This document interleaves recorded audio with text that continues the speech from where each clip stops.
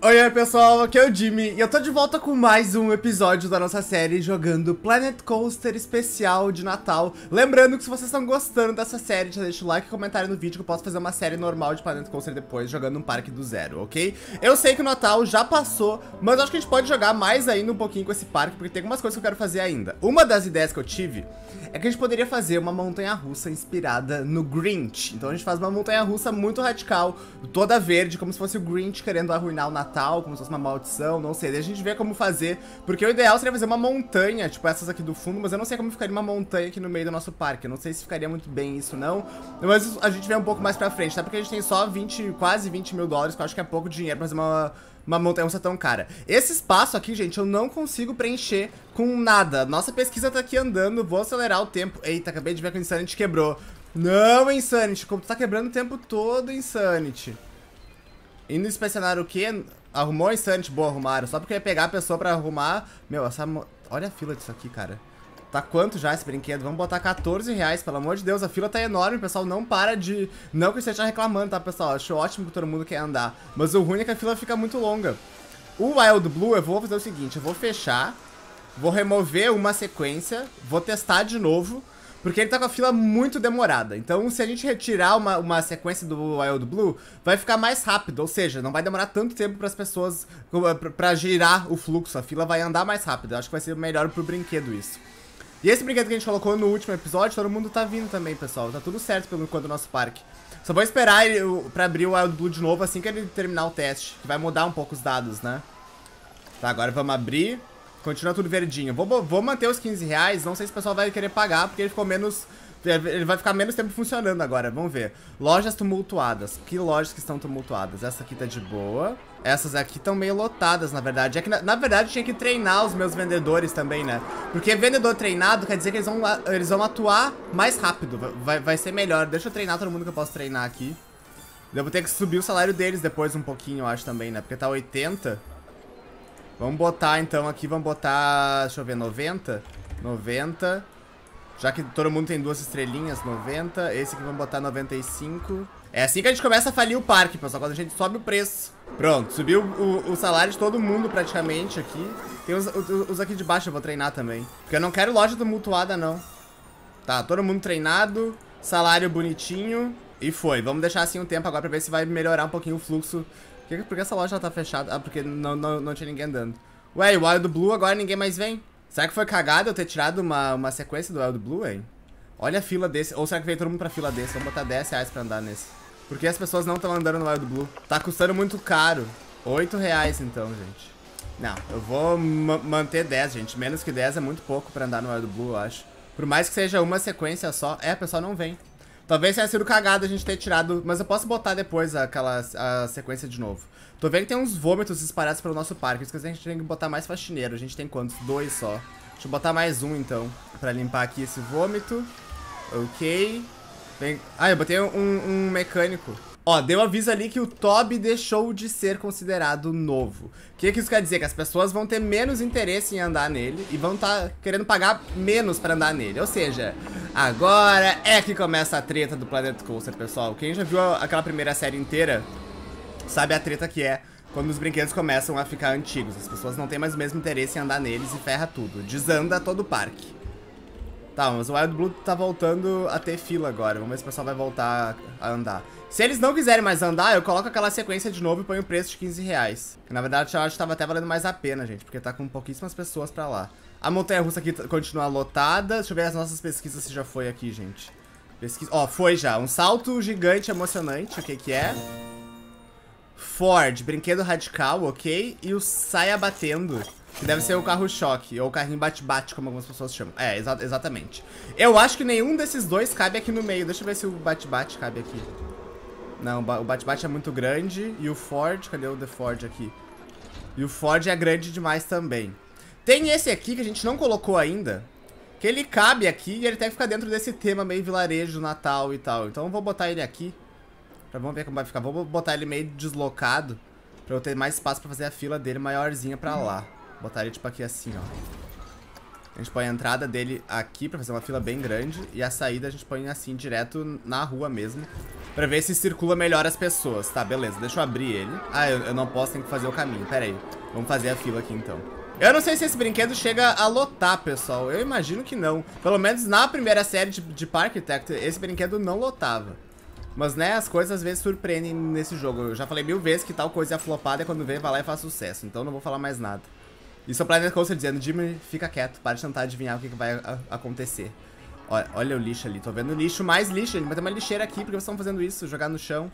Achei que ia flopar, mas que nada, o pessoal tá, tá gostando. Deixa eu botar um brinquedo desse aqui, uma, um pinheiro desse aqui no meio, assim, ó. Será que eu vou conseguir botar aqui? Consigo, boa. Daí decora as duas filas com clima natalino, tá ótimo. A do Insanity e a desses brinquedos aqui de paraquedas. Isso aqui eu acho que é só um carrossel, gente, que é de paraquedas. Deixa eu botar pra esperar a carga máxima. Eu não vou pintar ele, gente, eu acho que ele já tá com cor de Natal. Pode ter um azulzinho também no meio, não, não precisa ser tudo sempre tão vermelho, verde e amarelo e branco. O Instant tá como?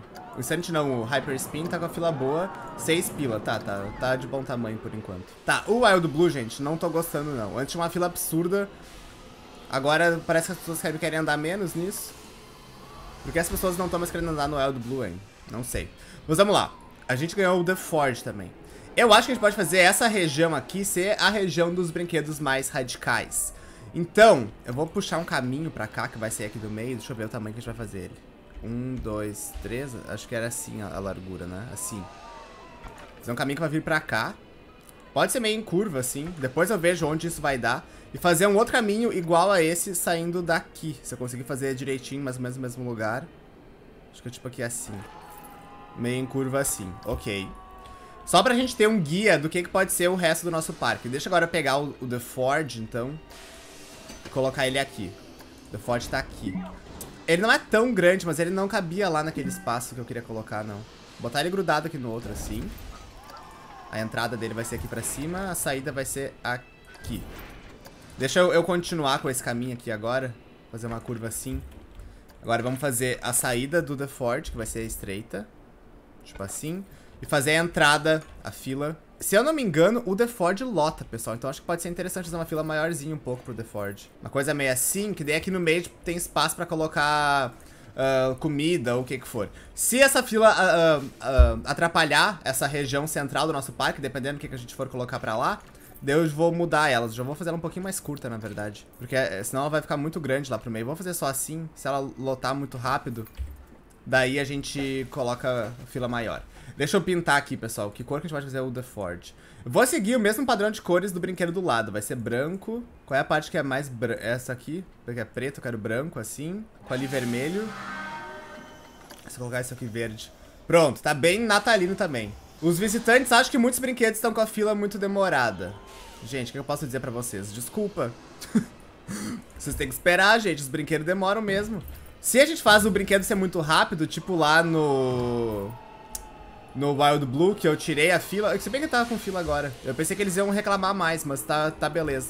Deixa eu seguir colocando essas coisas pra cá, que a gente não pode esquecer, né? Provavelmente vai ter que ter uma coisa de comida, mas eu vou esperar o pessoal chegar aqui primeiro pra começar a colocar. Porque a gente tá com bastante brinquedo radical, né? Como é que tá esse carrossel novo que a gente colocou? Tá com uma fila boa também, gente. Ah, ele fica meio inclinado, ó. Ah, ele é super fofo, na real. É muito mais legal que um carrossel normal. Gostei. Deixa eu botar essas decorações pra cá. Porque a ideia, pessoal, é que o pessoal se movimente pelo nosso parque, né? Não fique tudo concentrado na mesma região, que é meio que tá rolando agora, né? Todo mundo tá em volta do Toby, que é aquela nossa montanha-russa principal. Vamos fazer aqui. Talvez nessa área central aqui dê pra fazer uma montanha-russa bem radical, fazer o Grinch aqui, ou alguma coisa assim, uma montanha talvez, ou um castelo. Enfim, tem muitas opções pra gente vendo. As lojas de comida tá tudo bem. Esse aqui eu acho que eu vou botar 5 pilas, gente, pela fila. Tá grande a fila disso aqui, hein? 5 reais, bora. Bora subir um pouquinho o preço de tudo aqui. Um roubo foi cometido, tá? Isso quer dizer que a gente tem que botar mais câmeras dessas câmeras aqui. Ó, o pessoal tá começando aí agora. Pro... The Ford, boa. Eu tô achando que essa fila logo vai, vai ficar pequena, hein? Tô achando, mas a gente pode aumentar ela depois. Se eu não posso fazer isso agora, na verdade. Porque fila pequena é ruim que o pessoal fica... Eles não, não conseguem entrar, né? Eles são obrigados a ir pra outro brinquedo. Vou botar a entrada aqui pra cima, mais pra cima se eu conseguir. Aumentar um pouquinho o caminho aqui. Pessoal, vocês estavam vindo pro The Ford, não, não vou embora. Já vou fazer a fila aqui de novo, gente. Pera aí. Pronto, fila aberta de novo. Agora sim podem vir, pessoal. Não desistam do The Ford, por favor. Eu já abri ele de novo. Venham, venham, venham. Botar algumas das árvores que a gente tá colocando em tudo pra fazer a nossa floresta em volta do nosso parque. Vou trazer mais uma dessas árvores de Natal aqui pra baixo, porque essas árvores de Natal vão estar presentes em todo o nosso parque, pessoal. Elas fazem parte da decoração constante do nosso parque. Aqui tem um espaço bom também, dá pra botar mais brinquedos ainda, hein. Talvez dê até pra colocar algum cenário só, não precisa necessariamente ser um brinquedo, mas botar alguma coisa de decoração, alguma loja, enfim, alguma coisa assim pra gente ver. Meu, amei real esse brinquedo, achei muito fofinho, olha só. Eu não sei porque na outra série ele, ele, ele flopava e aqui tá tão bombado. Olha, a fila tá enorme, gente. Eu vou até aumentar a fila dele. Pra caber mais, mais pessoas ainda. E fica maior. Gente, podem entrar de novo. Olha, olha a muvuca que eu causei. Desculpa, pessoal do meu parque. Podem entrar, tá tudo certo. Venham. Ah, a gente tem que fazer mais pesquisas, né? Deixa eu fazer de brinquedo radical completamente giroscópio e mais um familiar que vai ser clássico excêntrico. Bora. Pessoas vêm andar no meu... Por que ninguém mais quer andar agora no meu negócio? Será que é porque eles vão pra outro brinquedo? Ah, é que eu acho que eles estão tentando entrar no, no Toby, só que dá uma muvuca, eles ficam tudo se prendendo ali. Calma, gente, respirem fundo que vai dar tudo certo. Não, não fiquem nervosos. Hyperspin tá tudo bem. O pessoal usando, tá, tá usando caixa eletrônico. Carrossel tá com uma fila boa. O Wild Blue que caiu muito o movimento, gente. Eu vou, eu vou fechar ele e botar aquela sequência de novo. Tava muito fraco o movimento, gente. Vou botar ele 10 reais daí quando ele reabrir, que vai estar um pouquinho mais caro, já que vai voltar a ser a sequência original dele, como deveria ser desde o início. E o The Ford tá aqui, deixa eu botar pra só... Olha, o, o, o, o The Ford é muito louco, gente. Vou botar pra ele só sair com a carga, com a lotação máxima. Eu andaria no The Ford, gente. Vai ficar um pouco cagado, mas eu andaria. Porque o legal é que, vocês estão vendo como tá tudo branquinho, assim, a, a estrutura do brinquedo não compromete tanto a decoração na, na, natalina do nosso parque. A gente tá com mais de 30 mil dólares. Isso acho que já dá pra fazer uma boa numa montanha-russa, hein, gente? Por que tá infeliz, meu amor? Hoje a carga de trabalho está pesada. Então eu tenho que botar mais um faxineiro, então. Deixa eu ver como é que estão meus faxineiros.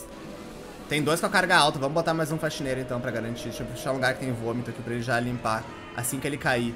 Mas, pessoal, vou encerrar esse episódio por aqui. Se vocês estão gostando da série, continue me dando as dicas de o que eu posso fazer nos próximos episódios. Não esqueça de deixar o like nesse vídeo, ok? Muito obrigado por terem assistido e até o próximo vídeo.